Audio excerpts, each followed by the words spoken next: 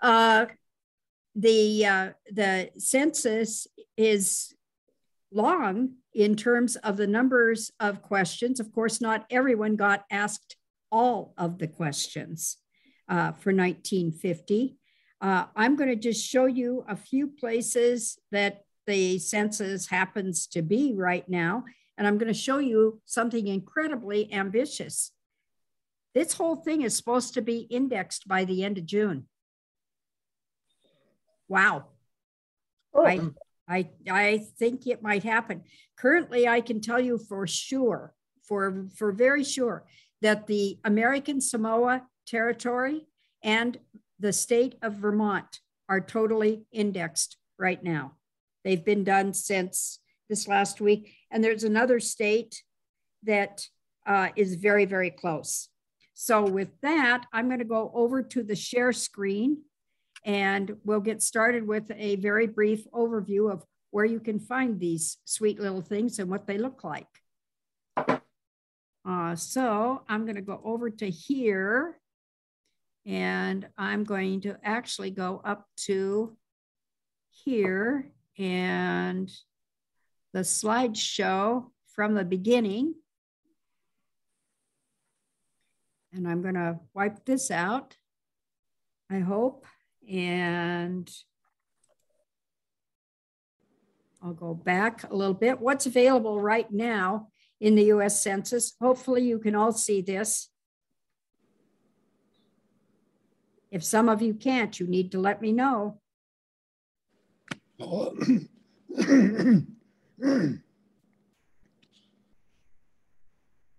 uh, getting to the goodies, the easiest way, if nothing else, if you're familiar with Google, is just go out to the top bar in, in Google search engine and put in 1950 U period S period census.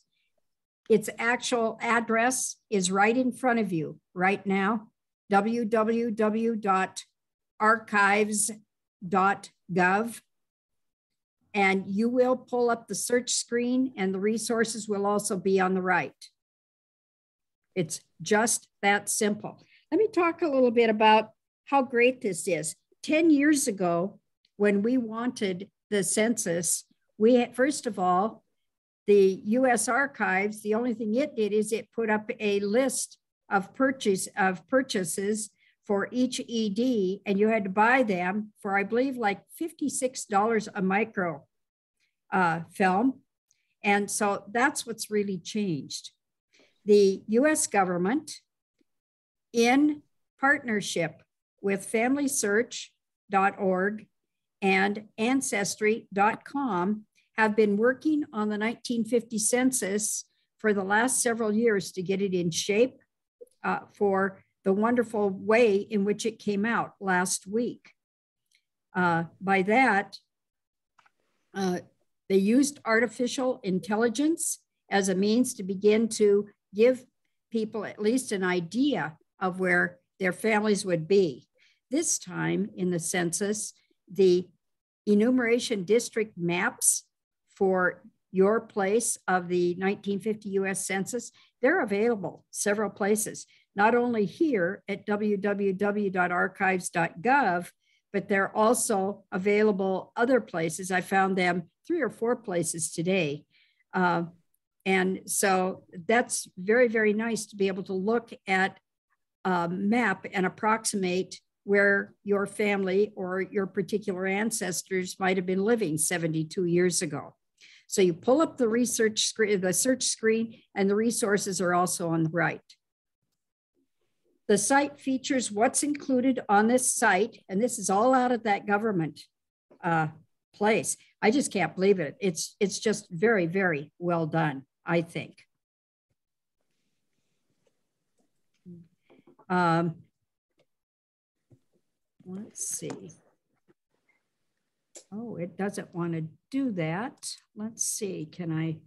All right, there's approximately 6.557 million population schedules. Each population schedule is uh, enumerated separately. There's 33, over 33,000 Indian reservation schedules. Uh, there's over 9,000 ED district map images available. And this actually, the, the ED maps are really courtesy of a couple of fantastic groups of volunteers who have been working for the last four years to make sure those district maps are up and they're good, pretty good quality. There's 234,000 and more than that actually, ED descriptions, and some of them are pretty neat, especially in the rural areas. I'll show you one of those in just a minute. And we have location and name-based search capability. You can explore those records right now, even if you even if your name doesn't come up that you want.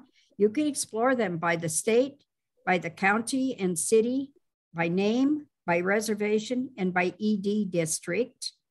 And that right now there's name transcription capabilities. And you can use a built-in transcription feature right on the page to correct and add names to the name index. And if you want to, you can even do more than that. You can actually volunteer right at that site to help get this thing indexed because that's who's doing it, folks. It's us, it's volunteers. So this is what it looks like when you go into the official 1950 census website to begin the search. Uh, nice patriotic cover, colors here at the National Archives, and hopefully that's what you're looking at. So you would push the button to begin search, or if you were just looking at the resources, you could do that. Under resources, there's frequently asked questions. There's a copy, not a great picture of it, of the 1950 census forms. If you want some nice forms, I've got them here in the library or if you email me, I can also email you a nice site uh, where you can get a copy, a blank copy of the 1950 census form. And also you'll get the capability, if you want that form, uh, to be a form in which you just fill names in, it, that's also there. And that's courtesy of Family Tree Magazine. They've also come in with a nice freebie for us. There's instructions for the enumerators from 72 years ago and for the public.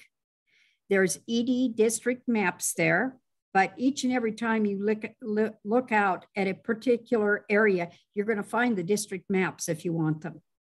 There's the original census information and training videos for geeks like me who are researchers. Uh, there's the statistical data and all the different reports that came out of the 1950 census for the uh, for Congress. Remember, that's who this is for, initially at least, the finding aids, and then all of the Native Americans. This is what a search form looks like out at that archive site and also uh, out many other places. Although this is, I still think, I, I think this is the clearest one. You can put in the location, but you can just select the state then you can select the county or the city in the case of uh, someone like Linda Long, who's looking at Chicago. You can put in a first or a last name, but here's what I advise put in the last name and then comma and then the first name. And you can also put in, if you want to, you can just explore it by ED district. If you know the ED district, but you didn't find your family right away, the name wouldn't pop up then you can explore it by ED district, and here's how. Uh, you can search for the last and the first names. I put my dad's name up here, Lee Byron. Uh, it came right up, but that doesn't mean yours will. My dad's name came up, I know, because somebody used very, very nice legible print. Uh, the search engine says it may bring up spelling variants. Yeah, I'm not too sure of that after looking at M I T C H E L L versus M I C H E L, and it wouldn't bring up M I T C H E L. If your surname comes up, what you're going to click on is this little button down over in the right corner called Population Schedule. That's where you're going to find the information. Voila. And you can use the transcription feature to make a needed correction if you wish. And those of us who, after we get done with our work next week, plan to transcribe, I hope to help a bunch. We've already had a couple of our members help a whole bunch with transcribing and uh, also just making corrections. good for them. Well, here I am. In the 1950 census for Ferndale, which is a little crossroads area in Lake County, Montana, here's my dad, Byron R. Lee, as the uh, R. Lee, as the head. He was born in Montana. My mom, Inez G, was born in North Dakota. My, my oldest brother, Con, was 13 and just graduating from the eighth grade. Gary B was 10, uh, but almost 11. Michael D was eight. My sister, Mary, but we really call her Susie, she was six. And there I am. I'm Janet D. I'm three years old, and I'm going to be four in about a month at that point. That was on uh, April 15, 1950. I want you to notice the descriptor at the top because this is what I was able to pull. The descriptor is very, very neat. It says proceeding west on County Road from a point one mile north of Ferndale Store to the intersection with Ferndale Road. And it started at Moen's Cattle Guard. Moen's Cattle Guard was almost right on Swan River. And it was the first place, it was the last place down that road, actually. So they started coming back up that road. And ironically, by the way, the, the place where I am, uh, I'm only one block away from my, gra- my grandparents, Oscar and Mary Lee, but they are in Lake County.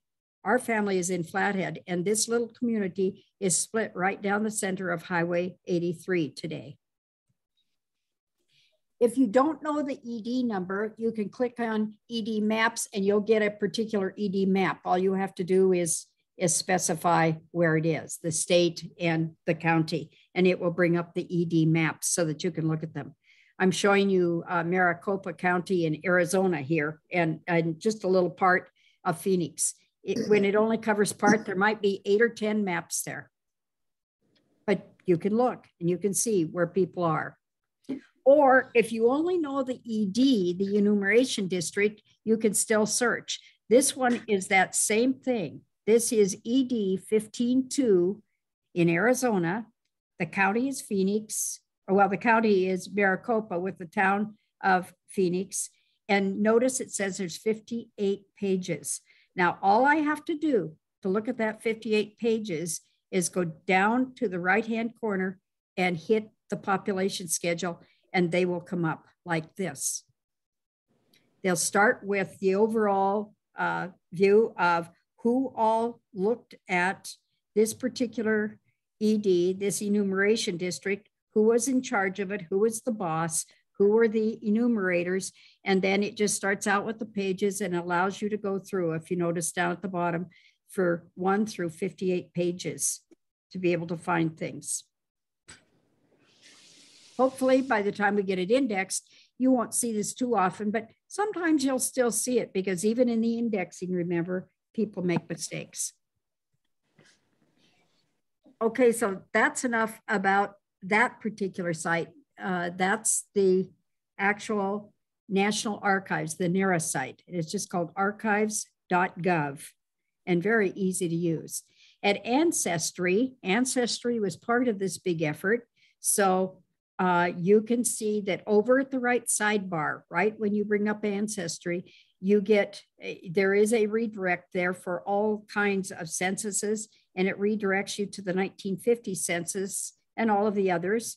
And here's the notice that it says here, says Ancestry is currently indexing the 1950 census. You can try searching below to see if your family is ready to find or explore the maps in our 1950 Census District Finder experience.